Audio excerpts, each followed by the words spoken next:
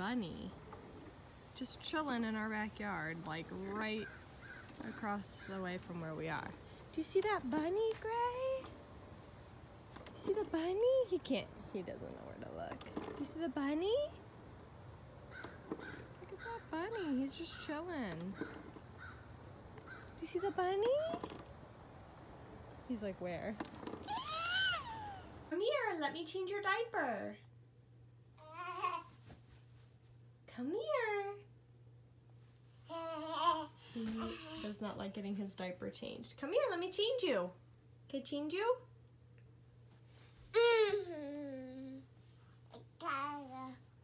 I've been sitting here for the past like five minutes waiting for him to come over here. You got a poopy diaper. Should I change it?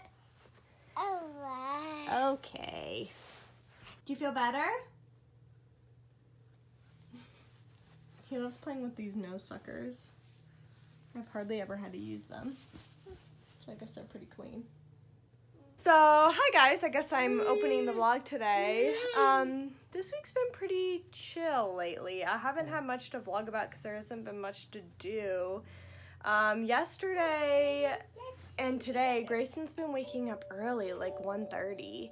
And so we have a whole afternoon and I'm just like, I don't know what to do. Like, it's still hot out. I don't want to go outside, but like we're running, like he's just getting bored with our house. Like, there's nothing new. There's... you see him playing behind me. There's nothing new to do. There's our backyard, like he won't swing for longer than two minutes anymore.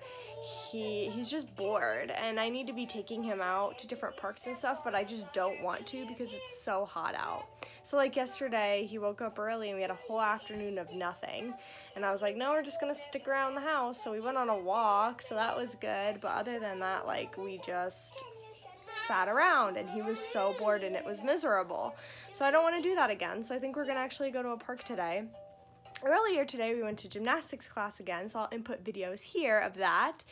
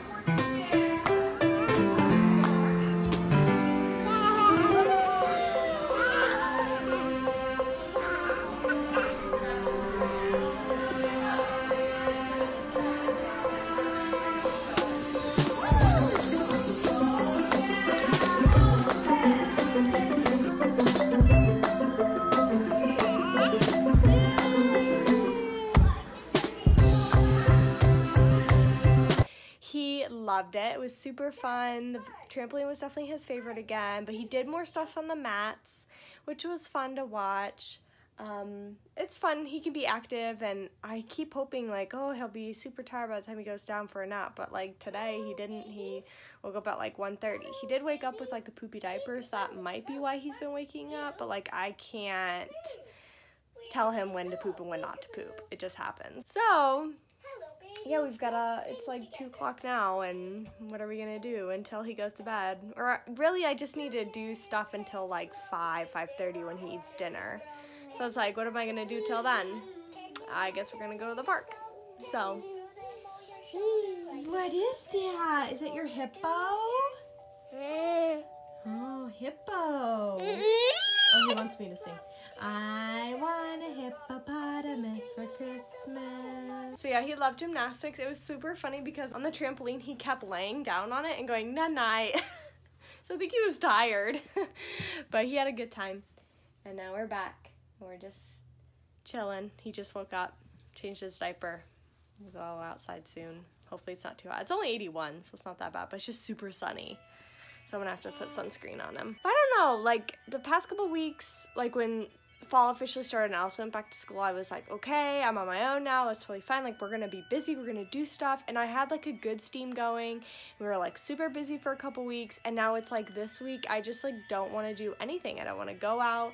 I don't wanna just put in that effort. Like, I feel so lazy. Why am I so lazy? I don't know. But it's like, I think it's because it's like we do stuff in the mornings, and I'm like, okay, that should last us the rest of the day. But it doesn't. I have the afternoon to think about. And most of my mom's groups activities are in the morning. They're usually never in the afternoon because everybody everybody's kid has different nap schedules, which I totally get. But then it's like, okay, so now what do I do in the afternoon? I don't know. So that's when we just need to go and explore parks. There's so many parks in Columbus, and we've only been to a couple. We need to start going to more, but I think I just keep thinking, like, oh, well, once it starts getting cooler outside, then we'll go. And it's not getting cooler outside. It's like, yeah, it's past the middle of September, and it's still super hot. It feels like summer. So before I know it, it's just gonna go straight to winter, and then I'm gonna be wishing we could go outside. I don't know what I'm gonna do in the winter. I mean, go to all the indoor places. There's like two that I know of that are free. The rest charge. So what are we supposed to do in the winter? I have no idea. Last winter was really hard for me because I was so just bored and stuck in the house. I don't know what I'm gonna do this year. We'll see, but the library. But unfortunately, again, the library is only in the mornings. Well, story time at least. I'm waiting for him to get a little bit bigger so we can like rent books and rent movies and like when do they start actually wanting to watch movies? Like he will not sit for anything unless it's little baby bum. So I don't know. He just needs to get a little bigger. I keep saying that. But then I look at him I'm like, he's getting too big. He needs to slow down. So it's a double edged sword. Sword. Sword. It's a double edged sword. Yeah, that's what we're doing today. So I thought I'd just bring you guys along. Kind of boring. But oh well. Hmm.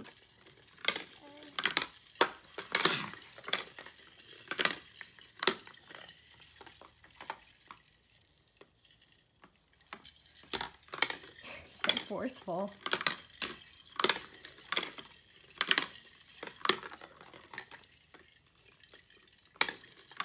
Park. This is so cute. They've got a little grocery store. They've got a car. They've got a fire truck that Gray's driving. They've got a house and a fire engine house. And then a little slide and swings. This is perfect. What do you think? You shifting the gears? Woohoo!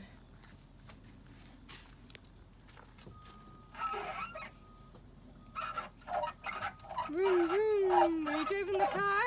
Do you want down? Uh. Yeah, do you want down? We've never been here before. And when I first put it in my Google Maps or GPS, it took me to the wrong place took me to a dead end. So I had to like Google the address and then we found it.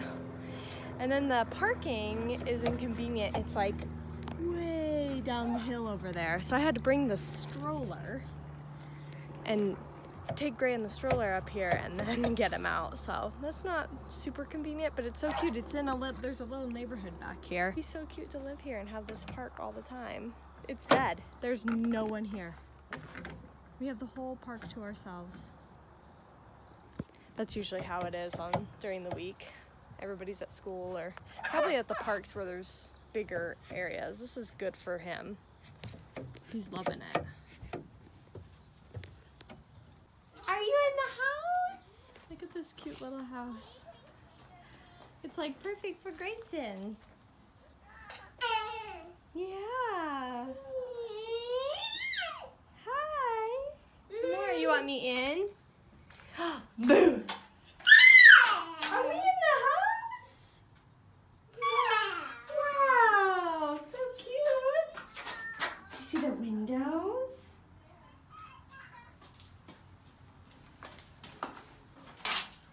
Window.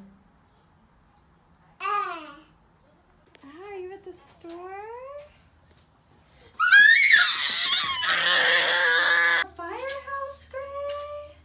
firefighter on duty. Oh my goodness. I see you.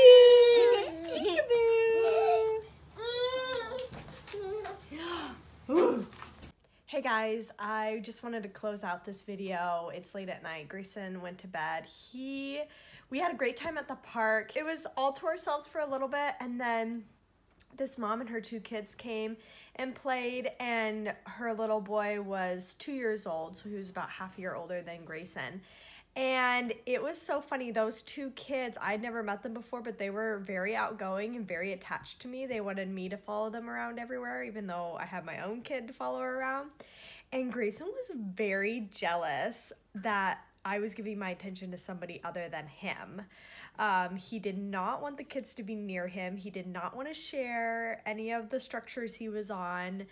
He needs a sibling because he does not like to share. It was so interesting to watch because usually, like, there's not well, I mean, like, he doesn't ever like to share, what little kid does, but I've never had it to where, like, a kid was wanting my attention while he was there, and he did not like me giving my attention to other kids. So it was interesting to see, but that park was super cute.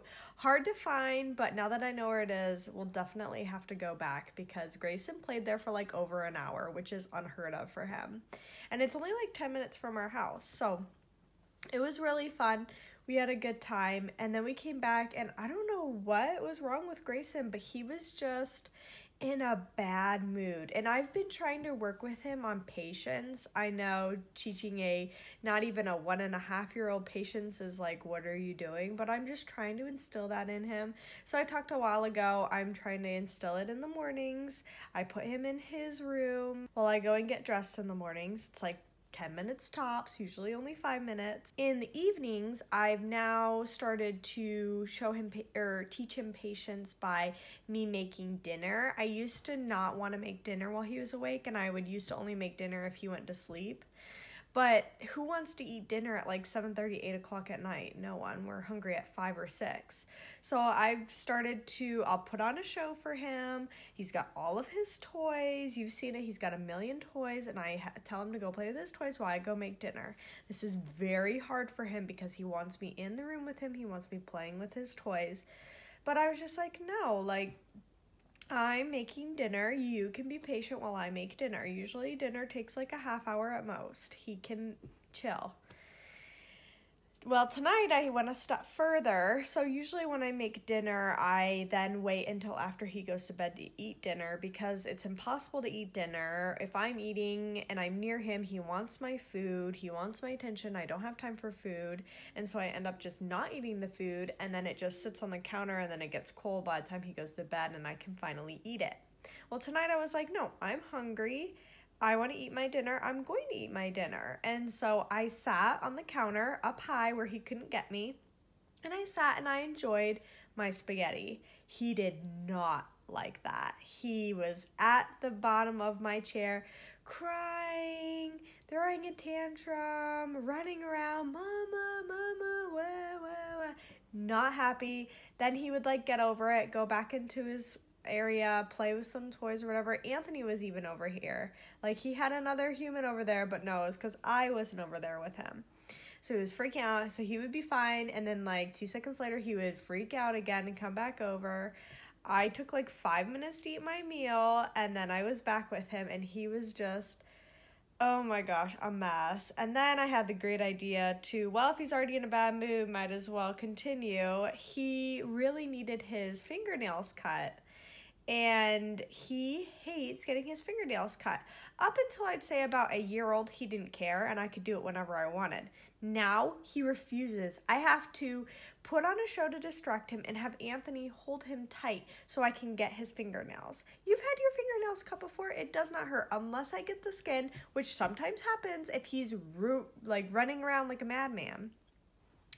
Well, Anthony was busy working on something, and so I was like, well, either I wait till tomorrow when Anthony's free to cut his fingernails, or I just try to do it now myself. And I was like, well, I might as well try myself. So I backed him into this corner of the couch, and I got the nail clippers out, and he freaked out. I mean, Anthony said it sounded like I was harming him, which I was not. I was just cutting his nails. I mean, I don't know what his problem is. He was freaking out. And so I was cutting his nails. It took forever to do because, of course, he's screaming, thrashing, crazy, running around. I don't even know if I did a good job because he was so crazy. I mean, he was like red in the face, crying. It almost sounded like he was gonna like throw up because he was like crying so much and coughing. Oh my gosh. So I finally got that done. I thought about trying to get his toes, but I was like, that's probably enough torture for now. Try to get those tomorrow, I guess, or something.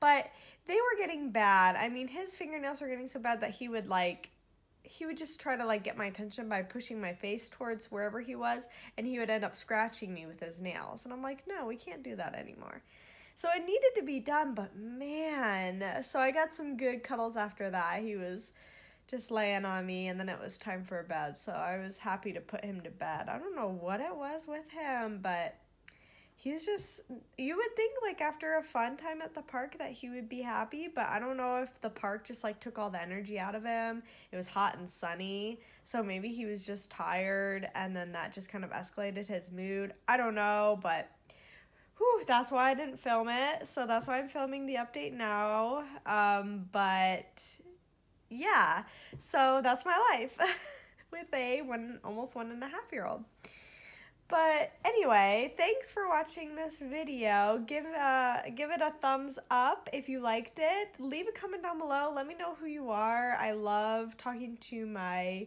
subscribers and getting to know you guys. Let me know if you have any questions. Um, make sure you subscribe to my channel if you're not a subscriber. We've got lots of fun things coming up. We're going to go to the zoo tomorrow. I'm going to be filming that. So stay tuned. Um, and we're also going to be picking Grayson's Halloween costume this weekend. So you're going to want to see what we put him in. I don't even know what we're putting him in yet. So it's a surprise to me too. So make sure you subscribe so you can know when the next video is posted. And I'll see you guys in the next video. Bye guys.